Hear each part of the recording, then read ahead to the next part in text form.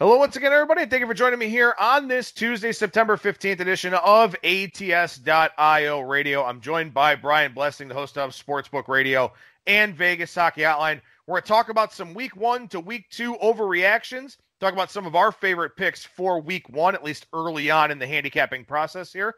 And we'll take a look at the U.S. Open at Winged Foot as well.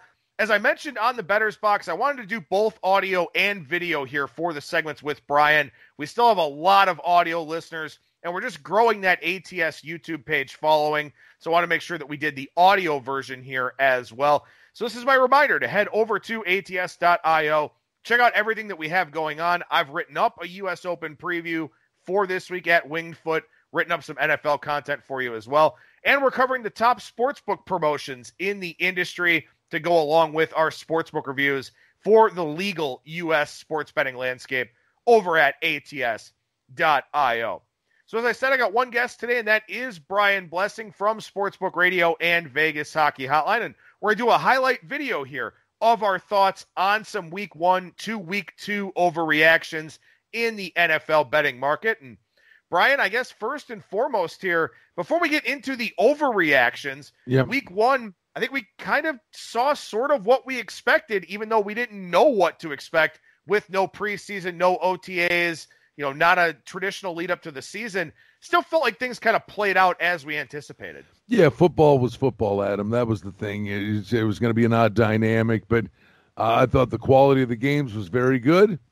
Um, I think the one thing that remains true, and it will play into what we're talking about of the overreactions. And I think we could do this actually every week because uh, the numbers are more volatile now on a week to week basis than they've ever been in the past. But I also think the cautionary tale is some of these teams uh, come out of the gate and look good, and good for them.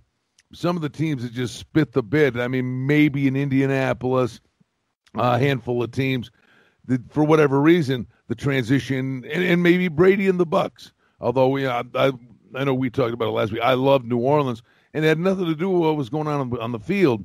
It was just New Orleans is like we're sick and tired of hearing this. Brady this, Bucs that. We're the gold standard in this division. That was kind of an intangible thing that actually played out right.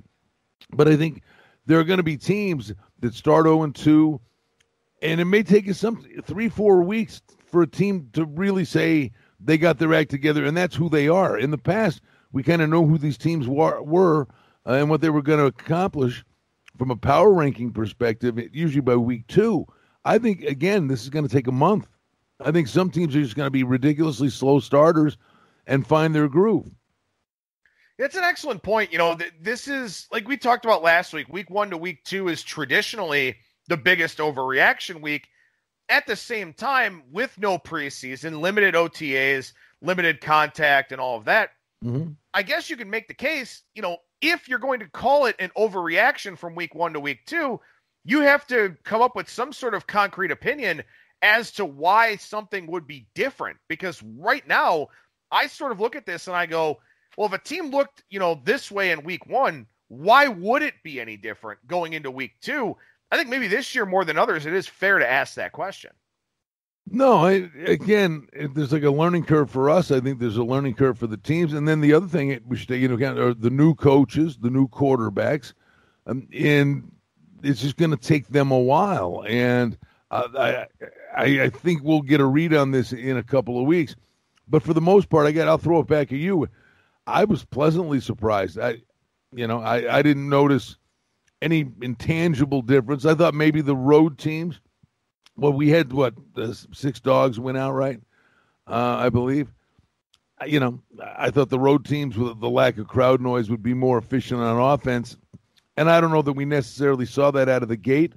But I would say this: I'm not letting go of it because I think, generally speaking, the majority of situations will be the defense would be ahead of the offense when you first start facing live bullets there. That I think that may still rear its head here in a couple of weeks because I think not only are teams collectively not what they're going to be yet, but specific units on football teams aren't going to, you know, I think offenses could get, you know, ridiculously better here in the next couple of weeks. I, I just think there's still a lot to watch and, and to try to decipher. Yeah, I think that's true, and, and I think in some of these games too, um, you know, not all of them, but some of them, we saw the defenses get a little bit tired in the fourth quarter. Uh, I think there were what 38 points in the fourth quarter of Green Bay and Minnesota. We saw a lot of points in the fourth quarter of Washington, Philadelphia, where that was kind of Washington's pass rush really starting to take over. I think that was your point last week. Uh, and I, I, remember saying, "Oh, but don't forget uh, Tennessee's going to altitude." Boy, that was just a knockdown, uh, drag out defensive battle. But I think it was your point last week. The tackling could be suspect, and then in the fourth quarter, fatigue set in. If the fatigue sets in, the offense kind of knows where they're going, and the defense is slow to react because they're trying to figure out what they're doing. I thought that was your point last week, and I think it, it rang true in the fourth quarter. So as we look at the week two spreads here, and again, this is you know the main point here of this highlight video. I know you and I have a disagreement on the first game that I think is an overreaction. So we'll start with yours before we wind up with some back and forth on mine. What's a game that you're kind of looking at here this week where you look at the number, or maybe you look at kind of where the number is going and say, this feels like an overreaction based on the one data point we have from last week? Uh, I think there's several. I think Green Bay laying six to Detroit with a caveat. I mean, Detroit had the game in their back pocket, and then you know we're we're doing this video the morning after the Golden Knights got eliminated in the Stanley Cup playoffs, and clearly the Golden Knights didn't watch the Lions game. The Golden Knights are up two nothing, eight minutes to go, and they sat back, and instead of they stopped playing and started protecting, and that's a nightmare and Detroit did the same thing. Chicago comes back, grabs the lead. To their credit, Stafford takes them down the field, and dramatically they're going to win the game, and Swift drops the pass. Now, it's a punch to the gut for Detroit, but they were ahead the whole game. And yes, Green Bay up and down the field, there was no defense in the Green Bay Minnesota game. And yes, uh, the Packers offense looks sensational, but it's a it's a Detroit team that, that lost the game but if you really go inside the box score, or, you it's not in the box score that Swift dropped the pass where they'd have won the game, or for three and a half quarters they were just beating the hell out of the Bears. I think that's an overreaction. I think I think the Packers should be about four, four and a half. I think six. The, I think the one caveat I'd put on that game is Detroit's secondary is in bad shape. They didn't have Jeff Okudah last week. They lost two corners during the game against Chicago, which kind of opened the door for the Bears. But like you said, I mean, if DeAndre Swift catches that ball, you know, the, the Lions wind up covering anything under three at that point in time, then you know what what does this line look like? And you exactly. and, and, and, the other and the other thing, and I uh, forgive me, I neglected to mention. And now, even if he comes back, he's likely not hundred percent. But don't forget, the Lions did that without their biggest offensive weapon, Golladay, uh, who had a hamstring and didn't play. So you know, A, if Golladay played in that game, B, if he plays this week, there's a guy, and skill position guys aren't really worth anything in relation to the number. Um, but this could be a guy who should be worth a point, a point and a half if he plays. So that bears watching too during the week. Well, and, and not to say that this line's an overreaction necessarily, but you know, the Thursday night game with Cincinnati and Cleveland, that one's down from seven, seven and a half to six. Mm-hmm. You know, if Cincinnati wins that game, if Joe Burrow makes that throw to AJ Green, if Bullock makes the field goal and they wind up winning in overtime, something like that, that line on Thursday night looks different. And similarly, the line for the Chargers probably opens higher than it did, where now it's been bet up to Chiefs minus eight and a half going out to the West Coast to take on the Chargers. You know, the Chargers escaped with a win, didn't play well, but they won the game. So, you know, they mm-hmm. kind of got a little bit uh, of a not a head start necessarily, but just a little bit of a you know preferential line in that game against the Chiefs, See, just because they won, but they didn't play well in that game. More more of this game, the number would be, hey, boy, Burrow played well. It was all dink and dunk stuff. You know, he had AJ Green down the middle for a touchdown, and he overthrew him. He had one chance, and then they had the touchdown pass on the short out, and it was offensive pass interference, and then they missed the field goal. So, but everybody's like, hey, Burrow looked pretty good, and Cincinnati competed. So you're sitting there and you say, do you give marks to Cincinnati? But is the real question, how ordinary are the Chargers? Right? I, you know, there's the other side of the equation here. I think at some point you're getting Herbert in there.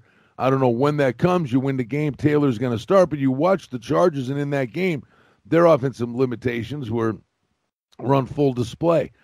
Now, for the Browns, that game is just draw a line through it. To me, that game didn't even happen because it was that was one of the best bets of week one. We talked about it. Harbaugh always wins the preseason games. You know, he's, he's a fast starter. He's a historically fast starter.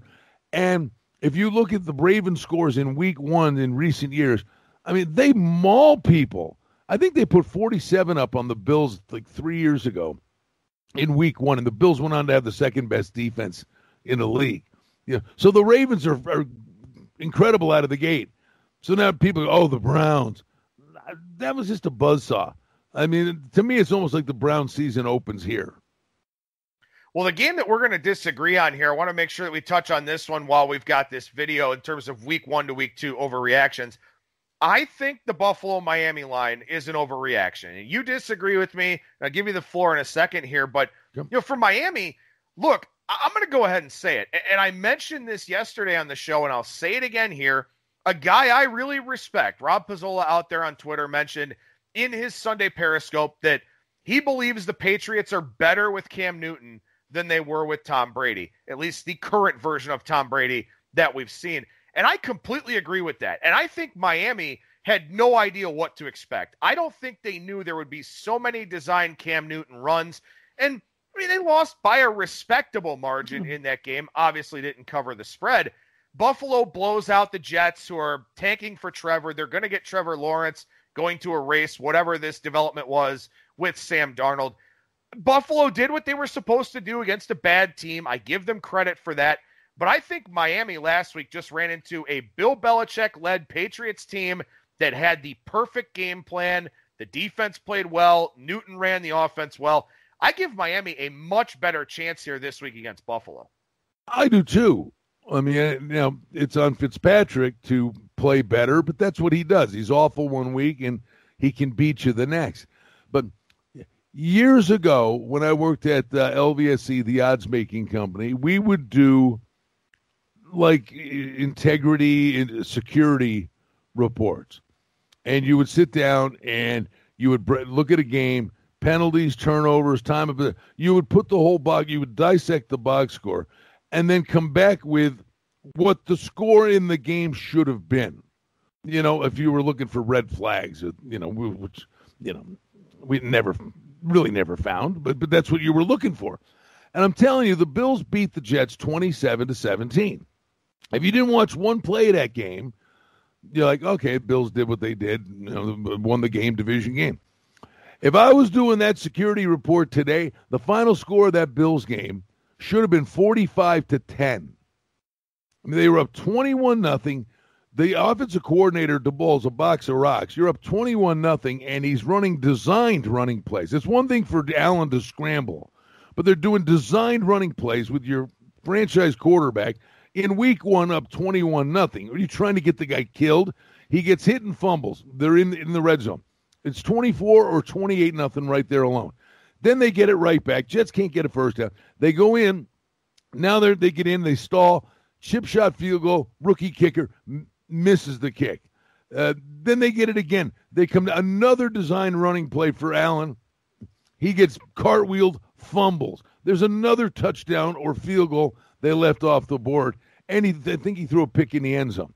I mean, they left so many points on the board, and then the Jets couldn't get a first down.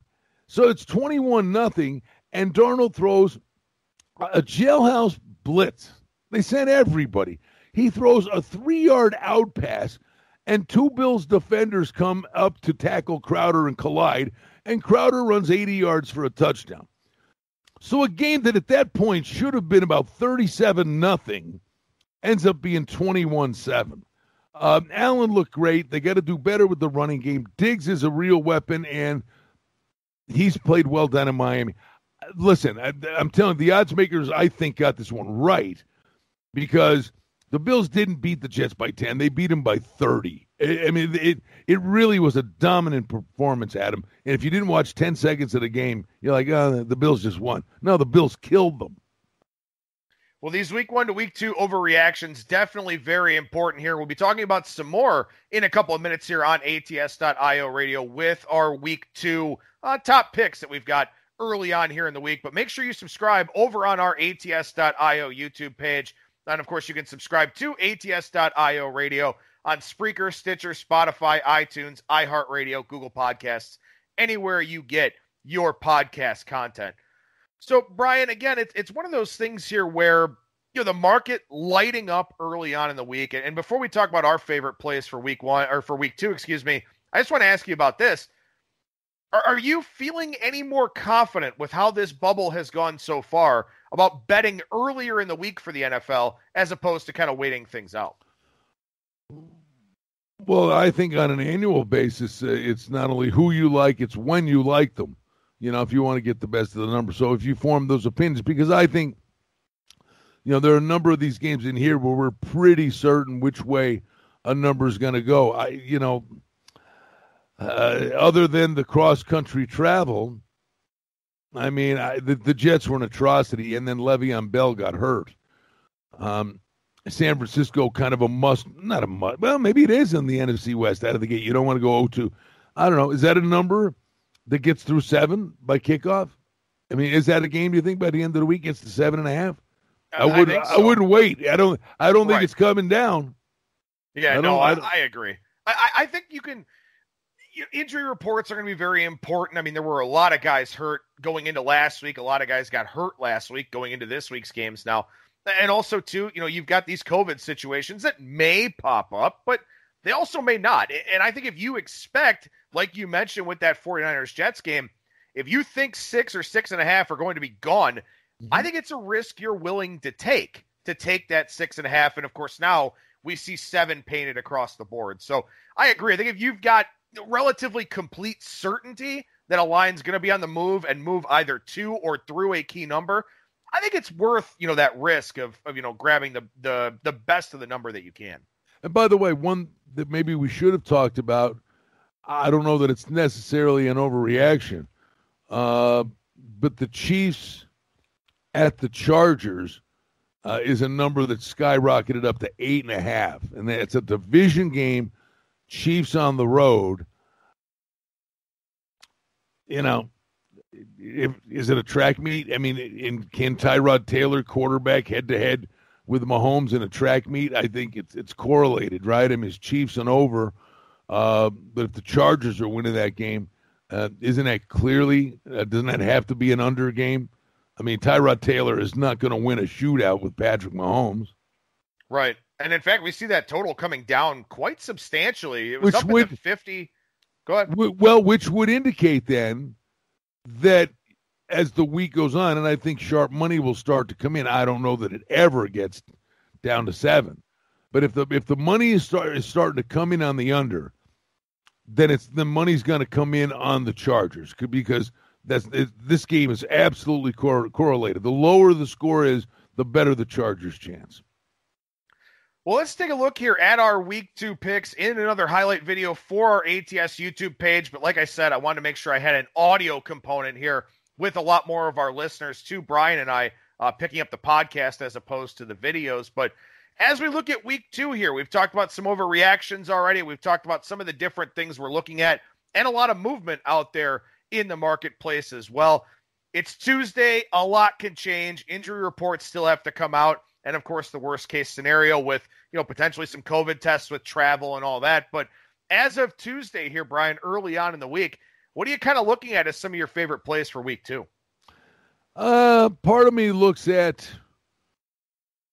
dallas minus the four and a half uh, we always have that home road dichotomy with matt ryan uh, and the falcons and russell wilson shredded them he's a mobile quarterback Dallas loses a tough one to the Rams. They don't want to start 0 2. I know a lot of people really like the Cowboys' chances to be really something good this year.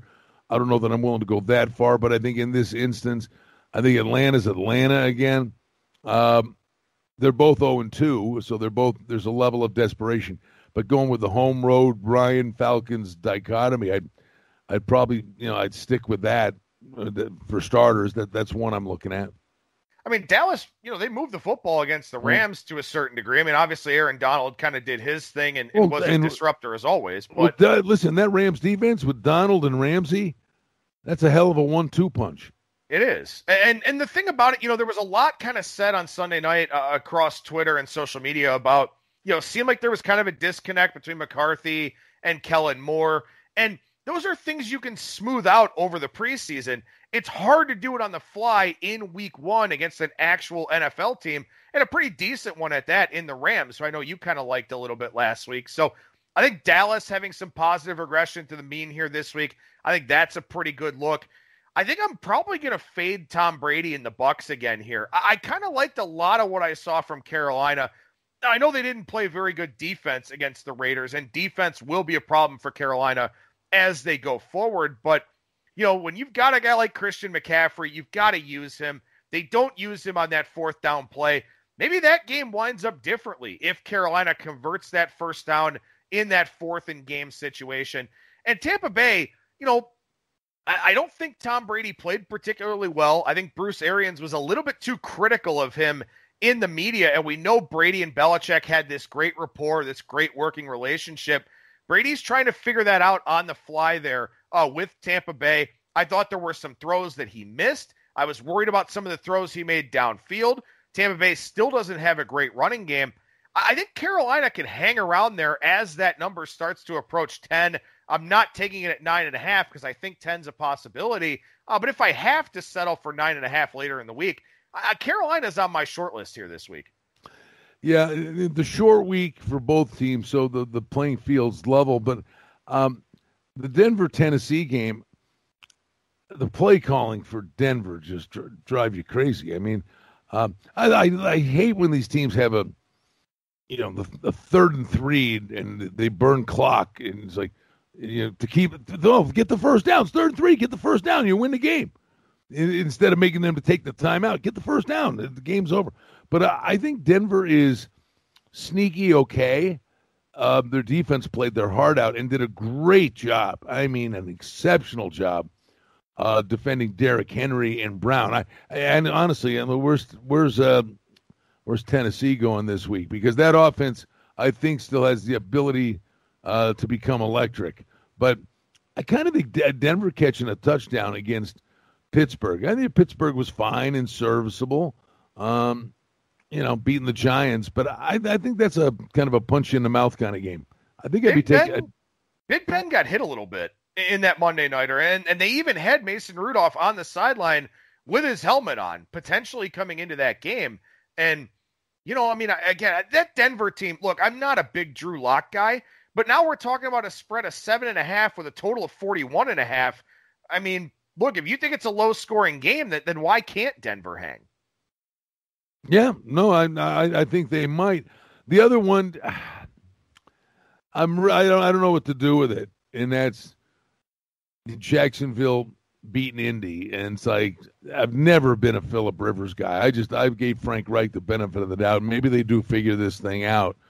Uh, you know, Minnesota's defense was a travesty. I mean, maybe that is a high scoring game, but take it to the other side of the coin, albeit it's the short week for Tennessee.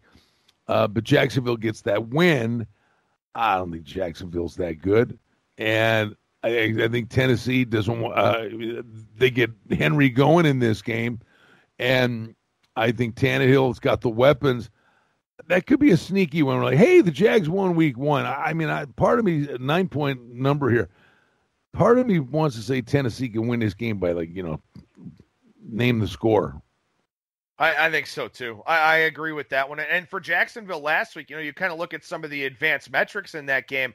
You know, Jacksonville, Gardner Minshew had windows to throw. Indianapolis did not cover well at all. If Tennessee covers well, Jacksonville is a, is a very you know risk averse. They're not an explosive offense at all. They're trying to get the ball to Laviska Shenault as much as they possibly can, which makes sense. I mean, Jay Gruden's trying to put it in the hands of his playmakers, but if Minshew doesn't have all that room to throw to open guys because Indy just didn't cover well, then I mean Indy won that box score dramatically. They basically doubled up Jacksonville in yardage. Indianapolis never punted in that game, and they still found a way to lose it. So Jacksonville did get fortunate last week, uh, to say the least. And maybe that is a game that you come back on the heavy chalk. One more that I want to talk about here, and then we'll get to some U.S. Open stuff.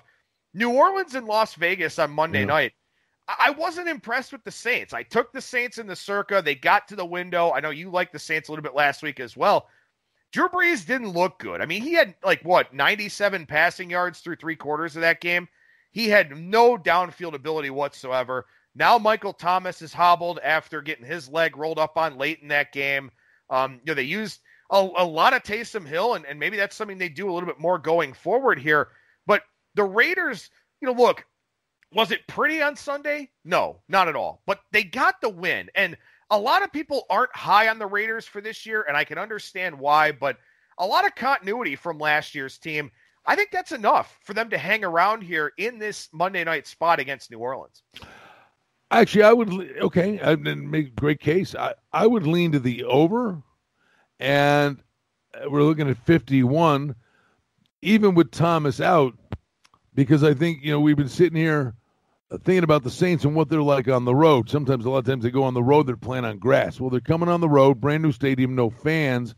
Um, I think Emmanuel Sanders will have a good game. They'll get the ball dumping, dump it off to Kamara. I think they'll still move the ball. And the kids for the Raiders, you know, Jacobs and uh, Ruggs, uh, Carr did really well. Carr could still make mistakes. I think um, that would be a game. I I would kind I to me I kind of like the over in that spot, but I, I, hear where you're coming from. And you know what? I know we got to move on, but let me just uh, throw it back at you because you brought this point up before, and I'm just picking your brain.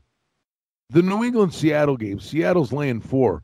Uh, the total is 45 and a half. Wilson looks so good, and he spreads it around. Now, the Patriots' defense is terrific, terrific secondary.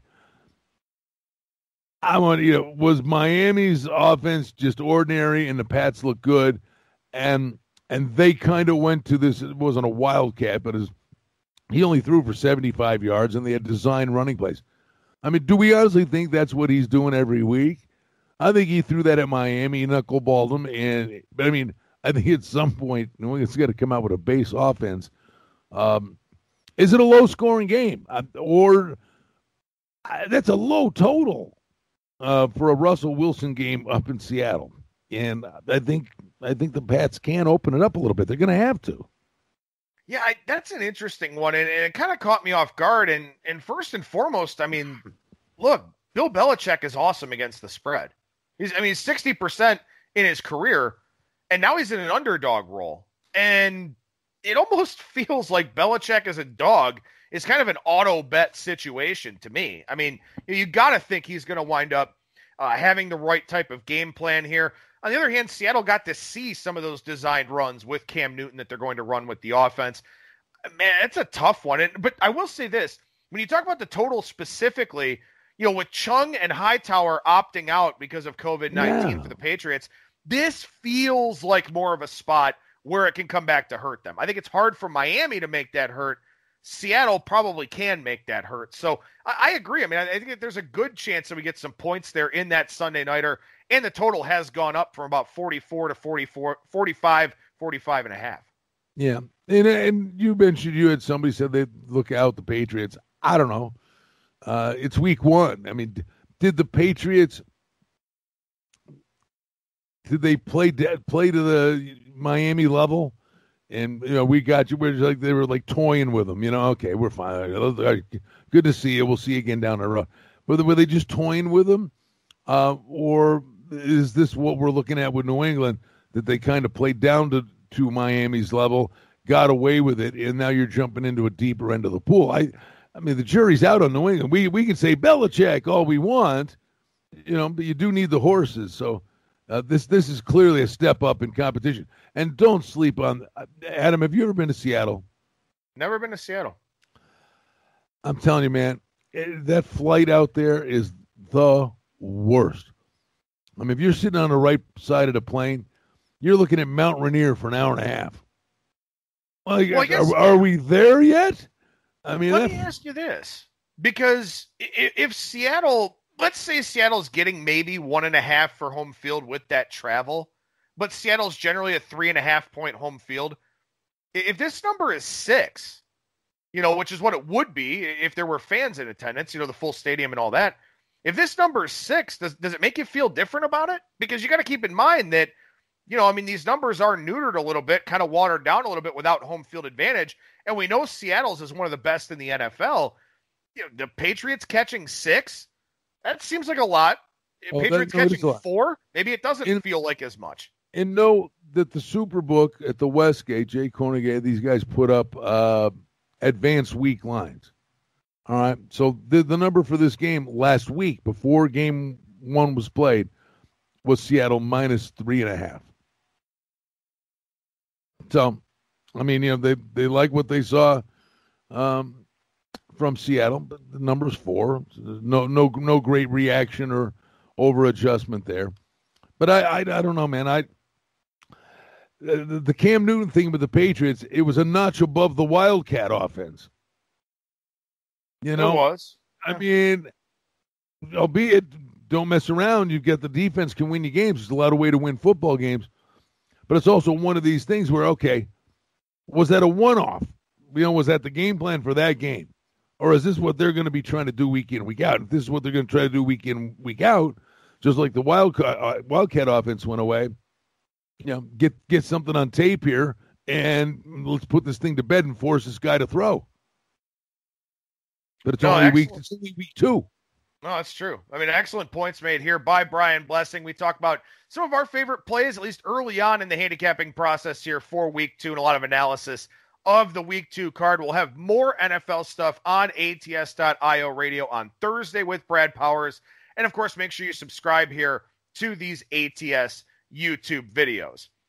Brian, last thing I want to talk about, you did a video. I wrote up a preview. Want to spend a few minutes here talking about the U.S. Open at Winged Foot. I know both of us very excited to watch this golf tournament.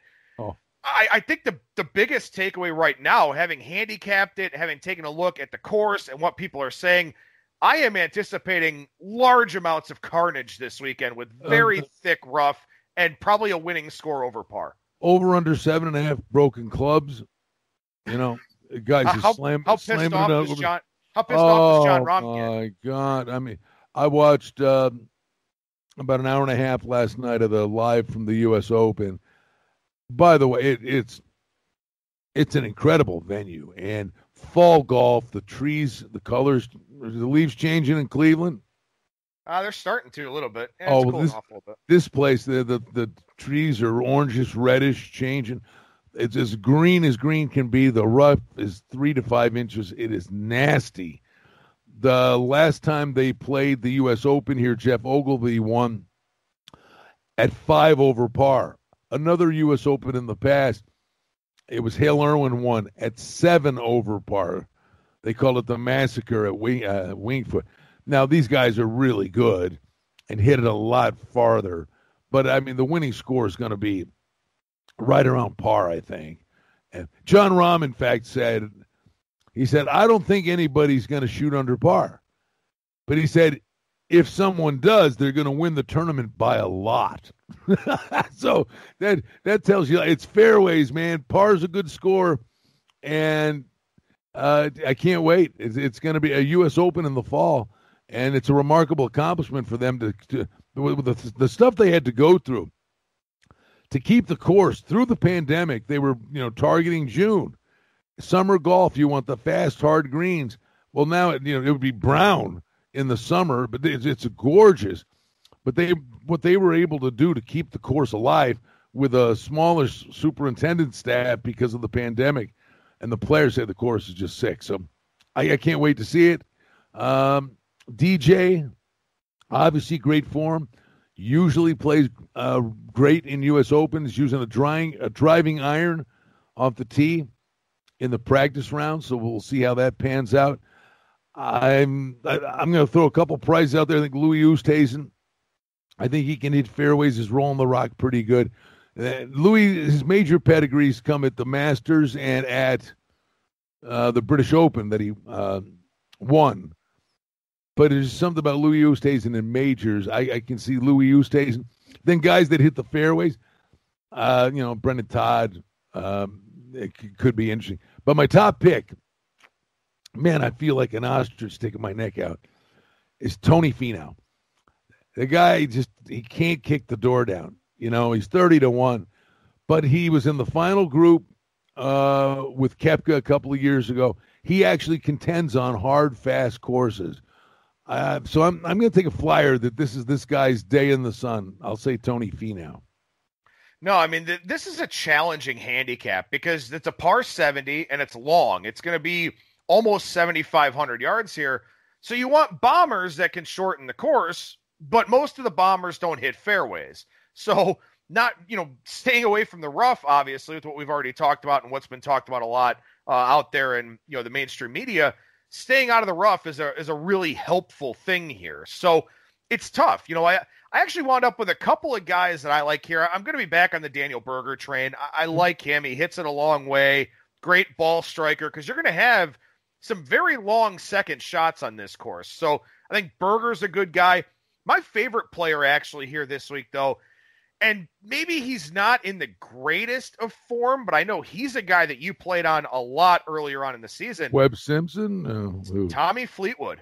Yeah, I, I like Tommy Fleetwood here. He's 61% in driving accuracy, tied for 16th in percentage of yardage on a hole covered off the tee, just outside the top 25 in putting. And putting will be a big deal this week, as it is at every major. But these greens are fast, they're sloped, they're going to be very tough. Fleetwood's my favorite play there in that 30 to 1 range. Also like Berger. And I can't argue with Finau either, who's a guy that you know does hit it a long way and can shorten this track a little bit too. You know, it's a sneaky a sneaky play too. Um, Paul Casey is he's learned how to win at least a, a, little bit, but he's got a sneaky sneaky game built for a major. Uh, don't forget what he did at the PGA. The more I'm thinking about it, I think we're nuts not to throw Casey in there a little bit at fifty to one. I like Kisner a little bit, ninety to one. A yeah. great putter, guy that hits fairways. Yeah. But I, the, the hard thing is, I mean, there are so many world class players here on what's going to be one of the toughest courses that they've ever played for a major. It's hard to expect somebody off the pace to be better than all of this elite talent. So it's hard for me to throw out a lot of long shots here. Uh, a long shot at 90, but really for the most part, Casey's in that what 55 to 60 range. That's about as far as I would go in a field like this. Right, and and the, the and your point is well taken. The difference here uh, compared to a lot of the golf we saw here in the summer months, where a guy can come off the pace like a uh, Jim Herman, you know, post a number. It's really hard to do that in the U.S. Open because par is a good score. So if you're down five shots teeing off on Sunday morning, and you start flag hunting, man, you better be on top of it. And and okay, if you go low, great. But the odds are just so stacked that if you get aggressive on a course like this, you're going to get ripped apart. You're going to you're going to take a double. You're going to take a snowman. Something stupid's going to happen. And the guys that are in the final groups, the the leaders, the top three, they're just going to sit there and shoot for the middle of greens and watch the rest of the field fade away, and then turn it into a match play thing in the last four holes.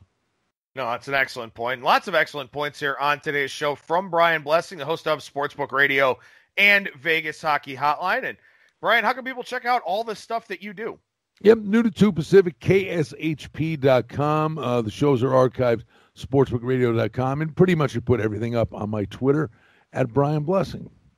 Brian, always a pleasure. I know Good to see you, bud. an interesting morning here for both of us. I'm glad I apologize. We to... I apologize. I was running late today. I owe you one. No, no, we're good. We're good. I apologize for keeping you so long here so that we no, can do. No, full disclosure. I just, you know, whatever. For the first time in eons, kind of slept in a little bit, and, and, then I get up, and then I lose one of the adapter cords. I mean, if you'd have seen me here, it was like it was like a fire drill. It was it was a bad comedy act. Adam Adam sitting back in Cleveland, going, "Who is this idiot?" Nah, I would never say that about you, as far as you know. yeah. Oh, thank you very right, little. All right, Brian. I, I, really appreciate it, man. Thank you so much for joining me, and uh, we'll talk to you again next week. All right, pal. Always fun. There you go. There's Brian Blessing and at Brian Blessing on Twitter, sportsbookradio.com, kshp.com for the great stuff that he does. And we'll be back again on Thursday with a new edition of ATS.io radio, chatting with Brad Powers, professional handicapper over at bradpowersports.com. I'll do it for me. Thank you so much for listening, everybody, and I will talk to you again on Thursday.